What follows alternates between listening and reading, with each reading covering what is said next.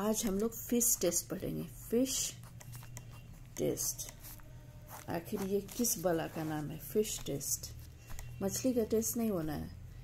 This is fluorescence in situ hybridization test fluorescence in C2 hybridization test now what happened in this test?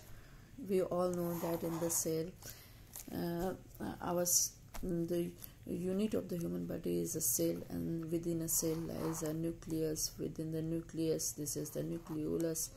And there is 22 pair of uh, chromosome. You can say autosome and one pair of sex chromosome this chromosome this is made of of uh, uh, one two sister chromatids. This chromatids if we uh, pull this strand of one chromatid then what we see that uh, this is this whole is the dna the whole length dna and uh, what we see there uh, it is coiled upon itself like this like a like this only. And uh, they um, and what we see that uh, they are making a complex um, that is called the histone complex. And this is the histone body in which the eight histones the four above and four below which contain one tail hmm? so it making a round over the histone then it is packed inside the chromatin. And then this uh, two and uh, approximately two turn around a histone complex histone octamer. This is called the nucleosome. Okay? And uh, if we again pull it apart like this uh, this is um, it is making uh, approximately two turn. When we put this one one strand what we see it is a double stranded this it looks one but if we pull it apart then what we see it is longitudinally arranged and making a helix over and longitudinally they are double helical structure.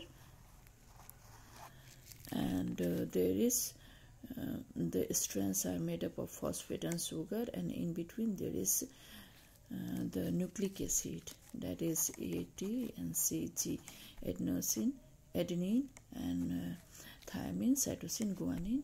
They are binding with the uh, double bond and CG binding with the uh, triple bond. Okay adenine thymine cytosine guanine. And uh, in case of RNA in place of thymine this is uracil okay. Now what happens in the fish test that is the fluorescence in situ hybridization test. Suppose this is um, what occur, uh, what occurred then uh, this is one strand. If uh, if it is uh, going to proliferate this strand will open up open up itself. So this a and the t is uh, far apart. Okay? And then uh, suppose G, here the G and the C is far apart. The bonding are uh, broken so they are apart. And uh, ready to receive another one. And this process is known as transcription. And then uh, the um, protein formation is translation. So when it opens up in one phase of a cell cycle it open up and ready to receive. In that situation, we have to put an artificial uh, nucleic, uh, you can say this is nucleotide. Okay, the nucleic acid plus base pair and the phosphate. This is nucleotide. So we put a new nucleotide sequence here, which is complementary with that of it is very much similar to this nucleotide sequence because adenine will receive thymine, guanine will receive cytosine, and what we put here is an artificial nucleotide sequence which is very much which is complementary complementary to the received nucleotide sequence in the DNA receiving. This is the received part and this is receiving part. Okay? Received or the presenting. Presenting nucleotide sequence should be complementary to the receiving nucleotide sequence. And this is just like a lock and key arrangement.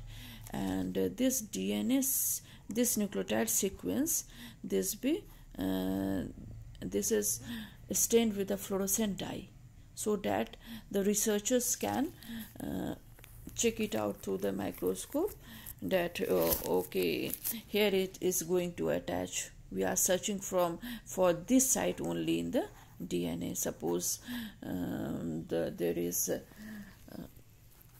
um, in the uh, suppose in Cri-du-Chat syndrome there is a 5q uh, deletion syndrome. Uh, so this is short arm this is long arm this is p and this is q in the fifth chromosome. One specific reason we have to search where it is.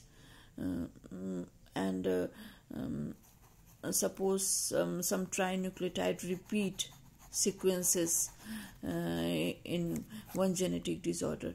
Then we have to see the um, we have to look for the diagnosis prognosis and remission कि ये वैसा ही है कि अब घट रहा है treatment के बाद या जनरेशन टू जनरेशन इसमें चेंजेस आ रहा है ये जनरेशन टू जनरेशन बढ़ रहा है या घट रहा है। So for the diagnosis prognosis and remission of the disease status for the genetic counseling okay and uh, what sort of disease are under this uh, evaluation for the FISH test this is uh, as this is FISH, मछली garam garam मछली khana hai, तो AC भी चलना चाहिए AC 22 window AC. Window spelling is V window. Uh, and ac okay? Now a for angelman syndrome. The C for Cri-du-Chat syndrome. O for oligospermia. 22 13 22q 13 deletion syndrome v